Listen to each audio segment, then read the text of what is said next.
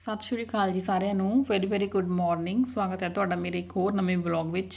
ਉਮੀਦ ਕਰਦੇ ਹਾਂ ਤੁਸੀਂ ਸਾਰੇ ਠੀਕ ਠਾਕ ਹੋਵੋਗੇ, ਤੰਦਰੁਸਤ ਹੋਵੋਗੇ, ਖੁਸ਼ਹਾਲ ਹੋਵੋਗੇ। ਮੈਂ ਵੀ ਬਿਲਕੁਲ ਠੀਕ ਹੈ। ਟਾਈਮ ਹੈਗਾ ਮਾਰਨਿੰਗ ਦਾ। ਚਾਹ ਪਾਣੀ ਵਗੈਰਾ ਦਵਿੰਦਰ ਨੂੰ ਦੇਖ ਕੇ ਤੇ ਮੈਂ ਵੀ ਚਾਹ ਪੀ ਲਈ ਸੀ। ਚਾਹ ਪੀਣ ਤੋਂ ਬਾਅਦ ਮੈਂ ਆ ਗਈ ਇੱਧਰ ਵਾਸ਼ਿੰਗ ਮਸ਼ੀਨ ਕੋਲੇ। ਮੈਂ ਕਿਹਾ ਪਹਿਲਾਂ ਕੱਪੜੇ ਮਸ਼ੀਨ 'ਚ ਪਾ ਦਾਂ। ਪਹਿਲਾਂ ਮੈਂ ਰਾਤ ਸੋਚਿਆ ਸੀ ਮੈਂ ਫੂਲੀ ਮਸ਼ੀਨ 'ਚ ਪਾ ਦੂੰਗੀ। ਫਿਰ ਕੱਪੜੇ ਗਰਮੀਆਂ ਵਾਲੇ ਬੜੇ ਹਲਕੇ ਫੁਲਕੇ ਜੇ ਸੀਗੇ। ਤੇ ਮੈਂ ਸੋਚਿਆ ਚਲੋ ਸਵੇਰੇ ਮੈਂ ਸੈਮੀ ਜੀ ਧੋਉਂਗੀ ਮਸ਼ੀਨ 'ਚ ਨਹੀਂ ਪਾਉਂਦੀ। ਫਿਰ ਹੁਣ ਮੈਂ ਸੈਮੀ ਜੀ ਧੋ ਰਹੀ ਹਾਂ, ਕਿਉਂਕਿ ਪਤਾ ਕੀ ਹੁੰਦਾ, ਅਹ ਕੱਪੜੇ ਤੇ ਪਸੀਨਾ ਹੁੰਦਾ, ਖਾਸ ਕਰ ਮੇਰੇ ਕੱਪੜੇ। ਮੇਰੇ ਕੱਪੜੇ ਗੰਦੇ ਨਹੀਂ ਹੁੰਦੇ, ਪਸੀਨਾ ਹੁੰਦਾ। ਫਿਰ ਜੇ ਇੰਨਾ ਜ਼ਿਆਦਾ ਆਪਾਂ ਉਹਨਾਂ ਨੂੰ ਟਾਈਮ ਦਵਾਂਗੇ ਮਸ਼ੀਨ ਵਿੱਚ, ਤਾਂ ਫਿਰ ਐਂ ਲੱਗਦਾ ਵੀ ਕਾਟਨ ਦੇ ਕੱਪੜੇ ਨੇ ਬਹੁਤ ਵੀ ਖਰਾਬ ਹੋ ਜਾਣਗੇ। ਇਸ ਕਰਕੇ ਮੈਂ ਸੈਮੀ 'ਚ ਹੀ ਧੋਨੀ ਸੈਮੀ 'ਚ ਇਹ ਆਪਸ਼ਨ ਹੁੰਦੀ ਹੈ ਕਿ ਉਹ ਆਪਾਂ ਮਸ਼ੀਨ ਸਟਾਰਟ ਕਰਕੇ ਆਪਾਂ ਕਦੋਂ ਵੀ ਰੋਕ ਸਕਦੇ ਕਿੰਨੇ ਟਾਈਮ ਬਾਅਦ ਮਰਜ਼ੀ ਤੁਸੀਂ ਰੋਕ ਲਓ, ਕੱਪੜੇ ਕੱਢ ਲਓ ਉਹਦੇ ਵਿੱਚੋਂ। ਫੂਲੀ 'ਚ ਜੇ ਇੱਕ ਵਾਰ ਟਾਈਮਰ ਲਗਾਤਾ, ਜਦੋਂ ਤੱਕ ਸਾਰਾ ਟਾਈਮ ਸਰਕਲ ਉਹਦਾ ਖਤਮ ਨਹੀਂ ਹੁੰਦਾ, ਆਪਾਂ ਮਸ਼ੀਨ ਰੋਕ ਕੇ ਕੱਪੜੇ ਨਹੀਂ ਕੱਢ ਸਕਦੇ। ਇਸ ਕਰਕੇ ਹੁਣ ਤਾਂ ਗਰਮੀਆਂ ਵਾਲੇ ਕਾਟਨ ਦੇ ਹਲਕੇ ਫੁਲਕੇ ਕੱਪੜੇ ਹੁੰਦੇ ਜਿਵੇਂ ਕਾਟਨ ਦੇ ਦੁਪੱਟੇ ਹੋ ਗਏ ਕਾਟਨ ਦੇ ਸੂਟ ਹੋ ਗਏ, ਹਲਕੀਆਂ ਜਿਹੀ ਟੀ-ਸ਼ਰਟਸ ਹੋ ਗਈਆਂ। ਵੀ ਚਲੋ ਇਸੇ ਦੇ ਵਿੱਚ ਹੀ ਧੋਤੇ ਜਾਣ, ਤਾਂ ਕਿ ਥੋੜਾ ਜਿਹਾ ਟਾਈਮ ਲਵਾ ਕੇ ਕੱਢ ਲਈ ਇੱਕ ਭੈਣ ਦਾ ਕਮੈਂਟ ਆਇਆ ਸੀ ਕਿ ਤੁਸੀਂ ਸੂਟ ਵੀ ਆਪਣੇ ਤੁਸੀਂ ਵਾਸ਼ਿੰਗ ਮਸ਼ੀਨ 'ਚ ਧੋਨੇ ਹੋ। ਕਹਿੰਦੇ ਮੈਂ ਤਾਂ ਧੋਂਦੀ ਨਹੀਂ ਵੀ ਮੈਨੂੰ ਐਂ ਲੱਗਦਾ ਖਰਾਬ ਨਾ ਹੋ ਜਾਣ। ਜਿਹੜੇ ਨਵੇਂ ਸੂਟ ਹੁੰਦੇ ਨੇ, ਦੇਖੋ ਆਉਣ ਜਾਣ ਵਾਲੇ ਕਾਟਨ ਦੇ, ਉਹ ਮੈਂ ਮਸ਼ੀਨ 'ਚ ਨਾ ਇੱਕ ਦੋ ਗੇੜੇ ਦਵਾ ਦਾਂ ਨੇ ਜਿਹਦਾ ਕੋਈ ਲੱਗਦਾ ਕਲਰ ਨਿਕਲੂਗਾ, ਉਹ ਮੈਂ ਅਲੱਗ ਹੱਥ ਨਾਲ ਧੋ ਲੈਣ, ਟੱਬ 'ਚ ਡਿੱਪ ਕਰਕੇ। ਤੇ ਜਿਹੜਾ ਮੈਨੂੰ ਲੱਗਦਾ ਵੀ ਹਨਾ, ਚਲੋ ਠੀਕ ਆ, ਉਹ ਮਸ਼ੀਨ 'ਚ ਇੱਕ ਦੋ ਗੇੜੇ ਦਵਾ ਕੇ ਮੈਂ ਕੱਢਦਾ ਨਹੀਂ ਹੁੰਦੀ ਡਿਪੈਂਡ ਕਰਦਾ ਕੱਪੜਾ ਕਿੰਨਾ ਕੁ ਗੰਦਾ, ਕਿੰਨਾ ਕੁ ਉਹ ਆਪਾਂ ਯੂਜ਼ ਕੀਤਾ ਹੋਇਆ ਸੋ ਕਿੰਨੀ ਕੁ ਸਫ਼ਾਈ ਉਹਨੂੰ ਚਾਹੀਦੀ ਆ। ਇਹ ਮੇਰਾ ਹਿਸਾਬ ਹੈ, ਜਿਹੜੇ ਵੀ ਘਰੇ ਪਾਉਣ ਵਾਲੇ ਕੱਪੜੇ ਨੇ ਚਲੋ ਉਹ ਤਾਂ ਧੋਤੇ ਹੀ ਜਾਂਦੇ ਨੇ। ਤੇ ਆਉਣ ਜਾਣ ਵਾਲੇ ਮੈਂ ਹਲਕੇ ਫੁਲਕੇ ਦੋ ਚਾਰ ਗੇੜੇ ਜੇ ਦਵਾ ਲਾਂਗੀ ਮਸ਼ੀਨ 'ਚ, ਫਿਰ ਮੈਂ ਕੱਢ ਨਹੀਂ ਪਹਿਲਾਂ ਉਹਨਾਂ ਨੂੰ ਪਾ ਦਾਂਗੀ ਫਿਰ ਬਾਅਦ 'ਚ ਦੂਜੇ ਕੱਪੜੇ ਪਾ ਦਾਂਗੀ ਮਸ਼ੀਨ ਵਿੱਚ। ਮਸ਼ੀਨ 'ਚ ਕੱਪੜੇ ਹੁਣ ਮੈਂ ਪਾਤੇ ਸੀ ਕਿਤੇ ਹੁਣ ਮੈਂ ਕੱਪੜਿਆਂ ਵਾਲਾ ਸਟੈਂਡ ਸਾਫ਼ ਕਰਦਾ ਕੱਪੜਿਆਂ ਵਾਲੀ ਤਾਰ ਸਾਫ਼ ਕਰਦਾ ਤਾਂ ਕਿ ਕੱਪੜੇ ਪਾਵਾਂਗੇ ਨਾ ਕੱਪੜੇ ਧੋਤੇ ਹੋਏ ਕੱਪੜੇ ਆਪਣੇ ਖਰਾਬ ਨਾ ਹੋਣ, ਆਪਣਾ ਕੰਮ ਨਾ ਵਧੇ। ਵੀ ਕੋਈ ਮਿੱਟੀ ਦਾਗ ਨਾ ਲੱਗੇ ਕੱਪੜਿਆਂ ਤੇ ਇਸ ਕਰਕੇ ਇਹ ਵੀ ਕੰਮ ਹੀ ਹੁੰਦਾ, ਇੱਕ ਕੱਪੜੇ ਪਾਉਣ ਤੋਂ ਪਹਿਲਾਂ ਤਾਰਾਂ ਸਾਫ਼ ਕਰਨੀਆਂ, ਸਟੈਂਡ ਸਾਫ਼ ਕਰਨਾ। ਤਾਰ ਮੈਂ ਇੱਕ ਸਾਫ਼ ਕਰਦੀ ਹੁੰਦੀ ਦੂਜੀ ਤਾਰ ਤੇ ਮੈਂ ਕੱਪੜੇ ਨਹੀਂ ਪਾਉਂਦੀ, ਕਿਉਂਕਿ ਦੂਜੀ ਤਾਰ 'ਚ ਕੱਪੜੇ ਪਾਉਣੇ ਆ ਨਾ, ਕੰਧ ਨਾਲ ਲੱਗਦੇ ਨੇ। ਹਾਂ, ਜੇ ਕੱਪੜੇ ਜ਼ਿਆਦੇ ਨੇ, ਫਿਰ ਕੀ ਹੈ ਪਾਉਣੇ ਪੈਣ, ਫਿਰ ਮੈਂ ਨਾਲ ਦੀ ਨਾਲ ਹੀ ਸਾਫ਼ ਕਰ ਲੈਂਦੀ ਹੁੰਦੀ ਆ ਇਹ ਵੀ ਸਫ਼ਾਈ ਜ਼ਰੂਰੀ ਹੈ ਪਹਿਲਾਂ, ਨਹੀਂ ਤਾਂ ਧੋਤੇ ਹੋਏ ਕੱਪੜਿਆਂ ਦੀ ਮਿਹਨਤ ਜ਼ਿਆਦਾ ਹੋਰ ਕਰਨੀ ਪਊਗੀ, ਸਾਫ਼ ਦੁਬਾਰੇ ਕਰਨੇ ਪੈਣਗੇ। ਕੱਪੜੇ ਧੁੱਤ ਜਾ ਰਹੇ ਸੀ ਜਿਵੇਂ ਜਿਵੇਂ ਧੁੱਤ ਜਾ ਰਹੇ ਸੀ, ਕੱਪੜੇ ਸੁੱਕਣੇ ਪਾ ਰਹੀ ਸੀ। ਫਿਰ ਸੈਮੀ 'ਚ ਤਾਂ ਆਪਾਂ ਨੂੰ ਨਾਲ ਦੀ ਨਾਲ ਕੱਪੜੇ ਕੱਢਣੇ ਪੈਂਦੇ ਨੇ, ਹੋਰ ਪਾਉਣੇ ਪੈਂਦੇ ਨੇ, ਫਿਰ ਸੁੱਕਣੇ ਪਾ ਦੋ ਹਨਾ। ਤੋਰਾ ਫੇਰਾ ਜਿਹਾ ਜ਼ਿਆਦਾ ਰਹਿੰਦਾ ਇਹ ਮਸ਼ੀਨ 'ਚ ਬਸ, ਇੰਨਾ ਗਾ ਬਾਕੀ ਸੁੱਖ ਵੀ, ਦੁੱਖ ਵੀ ਦੇਖੋ, ਹਰ ਇੱਕ ਚੀਜ਼ ਦਾ ਇਹ ਹੁੰਦਾਗਾ ਸੁੱਖ ਵੀ ਹੈਗਾ। ਕਿ ਤੁਸੀਂ 5-10 ਮਿੰਟ 'ਚ ਕੱਪੜੇ ਤੁਸੀਂ ਗੇੜੇ ਦਵਾ ਕੇ ਕੱਢ ਸਕਦੇ ਹੋ ਆਪਦਾ, ਹਨਾ, ਵਿੱਚ ਜੀ। ਜਿਵੇਂ ਕਈ ਕੱਪੜੇ ਨੂੰ ਆਪਾਂ ਘੱਟ ਟਾਈਮ ਲਵਾਉਣਾ, ਕਈਆਂ ਨੂੰ ਵੱਧ ਲਵਾਉਣਾ। ਜੇ ਤੁਸੀਂ ਕੱਪੜੇ ਡਿਪ ਕਰਕੇ ਰੱਖਣ ਜ਼ਿਆਦਾ ਗੰਦੇ ਨੇ, ਤੁਸੀਂ ਵਿੱਚ ਟੱਬ 'ਚ ਛੱਡ ਦਿਓ ਤੇ ਇਸ ਤਰ੍ਹਾਂ ਇਹਦੇ ਵਿੱਚ ਆਪਾਂ ਨੂੰ ਆਪਸ਼ਨਸ ਮਿਲ ਜਾਂਦੀਆਂ ਨੇ ਆ ਹੁਣ ਤਾਂ ਗਰਮੀਆਂ ਤਾਂ ਮੈਂ ਜ਼ਿਆਦਾਤਰ ਸੈਮੀ ਮਸ਼ੀਨ ਹੀ ਯੂਜ਼ ਕਰਦੀ ਹਾਂ। ਸਰਦੀਆਂ ਵਿੱਚ ਫੁੱਲੀ ਮਸ਼ੀਨ ਦੇ ਪੂਰੇ ਨਜ਼ਾਰੇ ਨੇ, ਉਹਦੇ ਵੀ ਨਜ਼ਾਰੇ ਨੇ।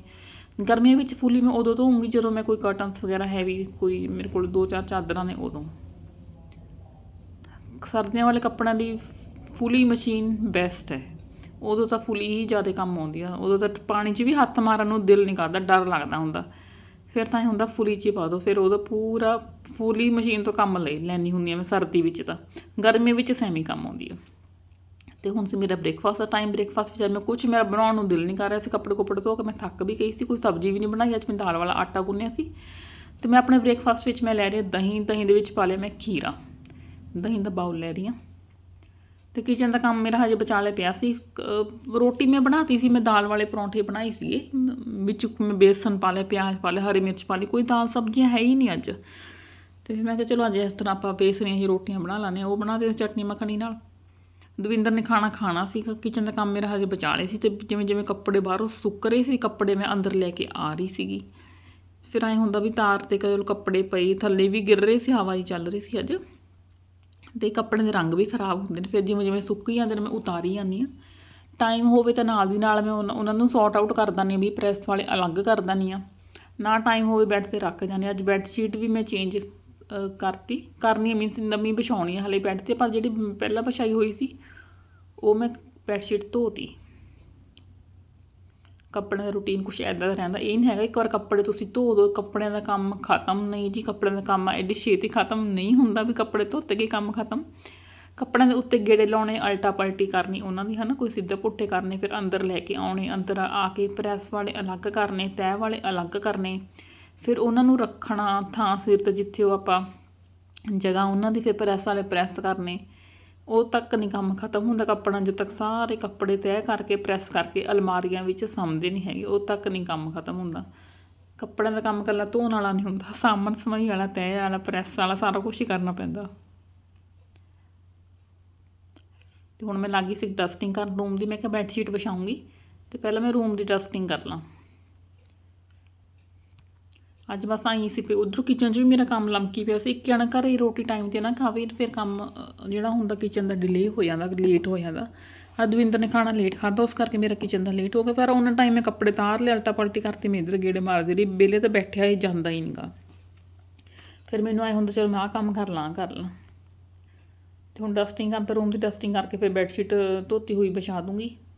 ਮੈਂ ਆਪਣਾ ਬ੍ਰੇਕਫਾਸਟ ਕਰ ਲਿਆ ਸੀ। ਇੱਕ ਬ੍ਰੇਕਫਾਸਟ ਜਲਦੀ ਕਰਨ ਦਾ ਇਹ ਵੀ ਫਾਇਦਾ ਹੋ ਜਾਂਦਾ। ਕਿ ਆਪਣੇ ਘਰ ਦੇ ਕੰਮ ਹਜੇ ਚੱਲ ਰਹੇ ਹੁੰਦੇ ਨੇ ਜਿਵੇਂ ਜਿਵੇਂ ਆਪਾਂ ਕੰਮ ਕਰਦੇ, ਆਪਣਾ ਖਾਣਾ ਵੀ ਹਜਮ ਆਈ ਜਾਂਦਾ ਹੁੰਦਾ। ਖਾਣਾ ਖਾ ਕੇ ਬੈਠਣਾ ਨੀ ਚਾਹੀਦਾ, ਤੁਰੇ ਫਿਰੋ, ਕੰਮ ਕਰੇ ਚੱਲੋ, ਆਪਦੇ ਆਪ ਨੂੰ ਬਿਜ਼ੀ ਰੱਖੋ, ਬਹੁਤ ਵਧੀਆ ਲੱਗਦਾ। ਆਪਣਾ ਖਾਣਾ ਵੀ ਹਜਮ ਆ ਜਾਂਦਾ, ਔਖਾ ਨਹੀਂ ਹੁੰਦੇ। ਸਗੋਂ ਜਦੋਂ ਨਾ ਨੂੰ ਕੇ ਬਹਿਨੇ ਉਦੋਂ ਤਾਂ ਇਹ ਲੱਗਾ ਹਲਕੀ ਫੁਲਕੀ ਜਿਹੀ ਭੁੱਖ ਲੱਗੀ ਹੁੰਦੀ, ਫਿਰ ਐਂ ਲੱਗਦਾ ਕੋਈ ਫਰੂਟ ਜਾਂ ਕੁਝ ਖਾ ਲਈਏ, ਹਨਾ। ਫਿਰ ਚਲੋ ਇਹਨੇ ਫਰੂਟ ਦਾ ਟਾਈਮ ਹੋ ਜਾਂਦਾ। ਐਦਾਂ ਦਾ ਕੁਝ ਰੁਟੀਨ ਹੁੰਦਾ, ਬਸ ਸਵੇਰੇ ਸਵੇਰੇ ਤਾਂ ਬਹੁਤ ਬਹੁਤ ਜ਼ਿਆਦਾ ਕੰਮ ਹੁੰਦੇ ਨੇ। ਹਜੇ ਮੈਂ ਆਪਣਾ ਵਾਸ਼ਰੂਮ ਵੀ ਕਲੀਨ ਕਰਨਾ ਦੇਖੂੰਗੀ ਮੈਂ ਇੱਧਰੋਂ।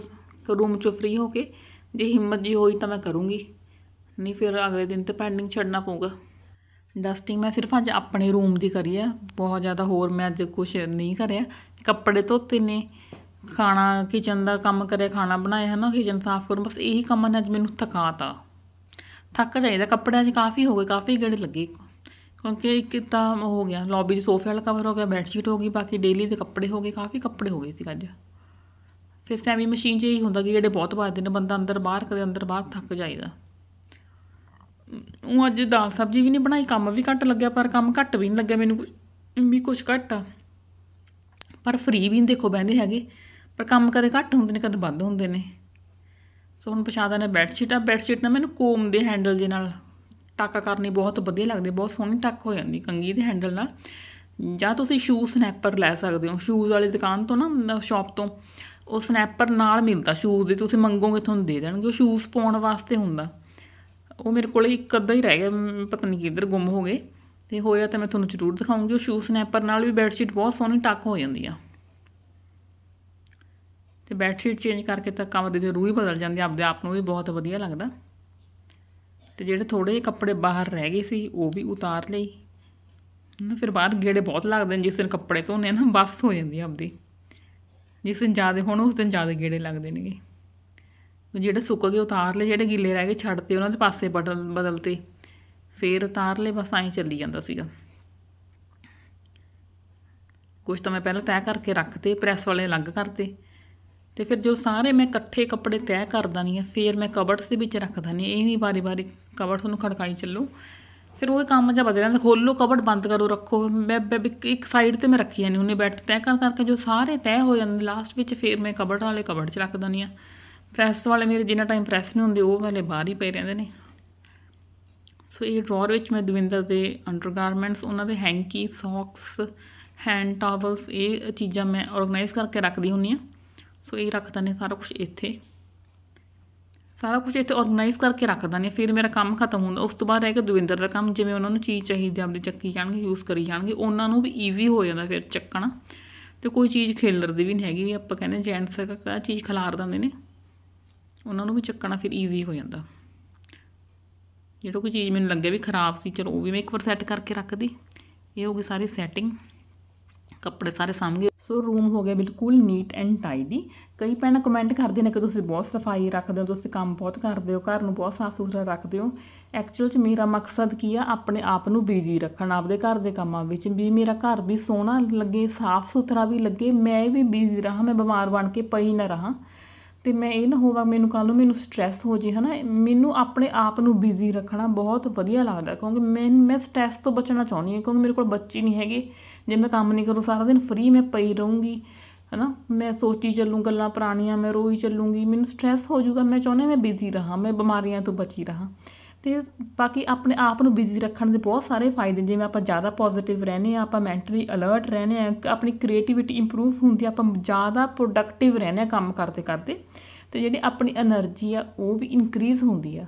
ਸੋ ਜੇ ਤੁਹਾਨੂੰ ਅੱਜ ਵਾਲੀ ਵੀਡੀਓ ਅੱਛੀ ਲੱਗੀ ਹੋਗੀ ਤਾਂ ਪਲੀਜ਼ ਲਾਈਕ ਸ਼ੇਅਰ ਕਮੈਂਟ ਜ਼ਰੂਰ ਕਰਨਾ। ਚੈਨਲ ਨੂੰ ਸਬਸਕ੍ਰਾਈਬ ਨਹੀਂ ਕੀਤਾ ਸਬਸਕ੍ਰਾਈਬ ਕਰ ਲਿਓ। ਸੋ ਇੱਧਰ ਚੇਅਰ ਤੇ ਮੇਰੇ ਪਏ ਸੀ ਪ੍ਰੈਸ ਵਾਲੇ ਕੱਪੜੇ ਪ੍ਰੈਸ ਕਰੂੰ ਟਾਵਲ ਪਏ ਸੀ ਉਹ ਬਾਥਰੂਮ 'ਚ ਰੱਖਣੇ ਨੇ ਤੇ ਮੇਰੀ ਇੱਕ ਭੈਣ ਨੇ ਕਮੈਂਟ ਕੀਤਾ ਸੀ ਕਿ ਤੁਸੀਂ ਜਦੋਂ ਬਾਸਕਟ ਮਿਸ ਡੀ ਆਈ ਵਾਲੀ ਛੋਟੀ ਜਿਹੀ ਬਾਸਕਟ ਯੂਜ਼ ਕਰੋਗੇ ਤਾਂ ਮੈਨੂੰ ਜ਼ਰੂਰ ਦੱਸਿਓ ਲਓ ਜੀ।